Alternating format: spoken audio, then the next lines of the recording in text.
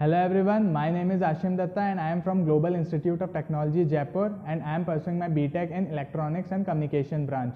So I have done my industrial training or internship from Tesca Technologies Jaipur.